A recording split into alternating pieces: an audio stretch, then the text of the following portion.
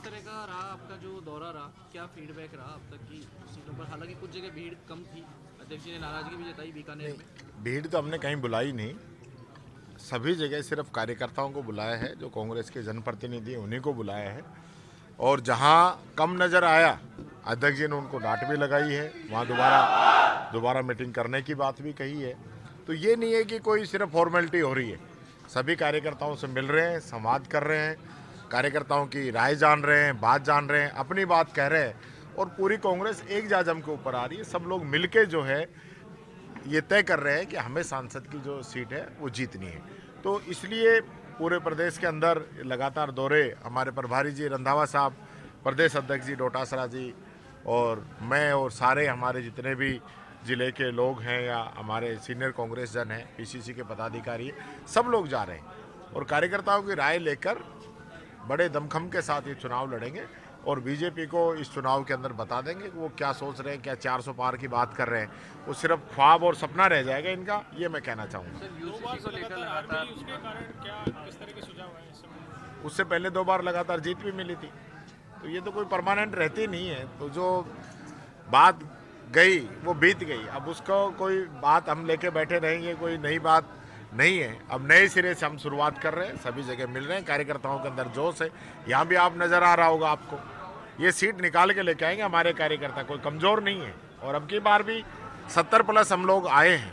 पिछली बार से ज़्यादा वोट परसेंटेज हमारा आए तो हमारे को ये नहीं है कि भाई रात चला गया तो कार्यकर्ता कहीं हताश है।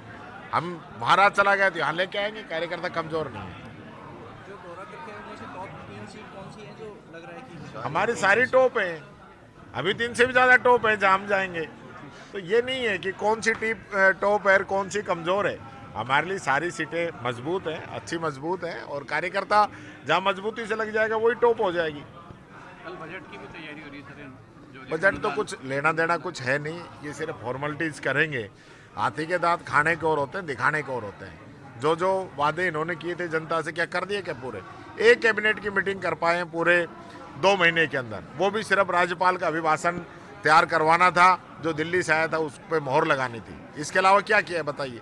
ये लोग कहते थे कि हम किसान सम्मान निधि बारह हज़ार करेंगे। अब आठ हज़ार की बात कही उस दिन मुख्यमंत्री जी ने अभिभाषण पे। क्यों भाई? जो आपने तो बारह हज़ार कही थी, आठ हज़ार क्यों कर रहे हो? किसान को आपने कहा था गेहूँ का समर्थन मूल्य सत्ताईस सौ देंगे। अब कह रहे हैं सवा सौ रुपये बढ़ाएँगे, डेढ़ सौ रुपये बढ़ाएँगे। तो ये क्या बात हुई? तो ऐसा ही इसमें करेंगे। क्या छलावा करते हैं? क्योंकि चुनाव सर पे है। ये आर अब लेके आए ना। पूरी पाँच साल निकल गई। यही गजेंद्र सिंह जी थे। क्यों नहीं लेके आए? क्यों नहीं लेके आए? अब आज इनके 20-25 दिन बचे हैं। आचार संहिता लग जाएगी। उसके बाद इनके हाथ में है क्या दिल्ली की सरकार? वो तो जनता जिसको मौका देगी वो करेगा। तो आपने तो नहीं किया, अपना पूरा टाइम निकाल दिया। तो ये झूठे लोग हैं, मक्कार लोग हैं। जनता को झूठ बोलते हैं, एक झूठ को बार बार बोलते हैं और गुमराह करने की कोशिश करते हैं। मोदी जी ने अच्छे दिन लाने का वादा किया था ना। आगे होंगे प्रेस के तो। मैं प्रेस से ही शुरू करता हूँ। आपकी रैंकिंग गिर गई है देश की। प्रेस की स्वतंत्रता में हमारे देश की रैंकिंग गिर गई है विश्व के अंदर। और हम लोग चुप हैं। हम लोग बोलते नहीं हैं। हंगर इंडेक्स में हमारी भुखमरी बढ़ गई है। लेकिन हम बोलते नहीं हैं। जीडीपी पिछहत्तर साल में सबसे निम्न स्तर पे है। बेरोजगारी पिछहत्तर साल में सबसे उच्चतम स्तर पे है। लेकिन ये बात मीडिया भी नहीं चलाता है। हम तो सारी बात कह ही रहे हैं।